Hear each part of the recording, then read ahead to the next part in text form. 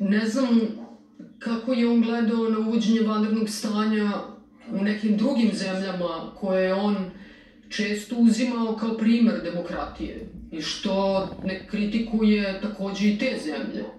Valjda je u tim zemljama normalno da se to uvodi zato što su ozbiljne zemlje i imaju ozbiljne mere, a u Srbiji valjda to nije normalno, pošto ne znam kako, valjda smo neozbiljna zemlja, zaista ne, ne znam, ne, ne mogu da, ne znam, nije mi jasno kako ljudi uopšte e, tako mogu da komentarišu. A da li je protivustavno?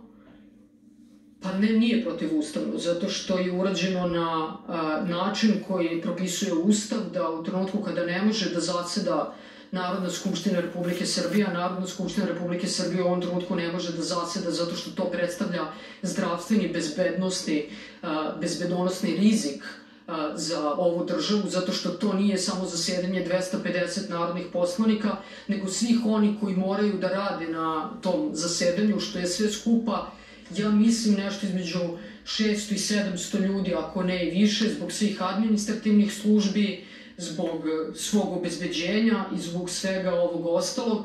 Dakle, nije moguće. To je rizik.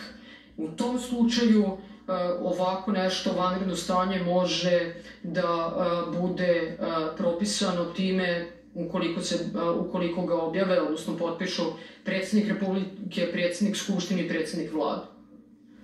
Dakle, ne postoji apsolutno ni jedna, ni, ni jedna trunčica sumnje da je ovo moglo da se uradi, da je ustavno, a za mene kao predsednicu vlade ni trun sumnje da je bilo neophodno. Na meni je odgovornost i na predsedniku Republike je odgovornost. Tako da, Mi smo tu odgovornost preuzeli. Evo ja bih volela da mi, da mi gospodin Šabić kaže šta bi bilo pametnije i odgovornije da smo uradili.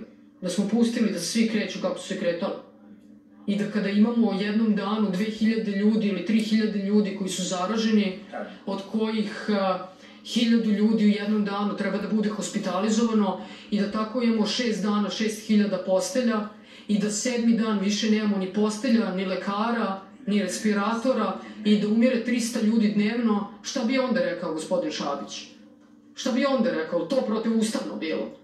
Je li onda protivustavno to da vi imate ljude koji su odgovorni kao predsednik Republike ili predsednik vlade za bezbednost i zdravlje građana, a ništa nisu preduzeli?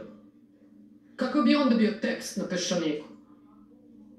Ali ja mogu da vam kažem, ja znam kakav bi bio tekst uvek bi bio suprotno onome što smo uradili.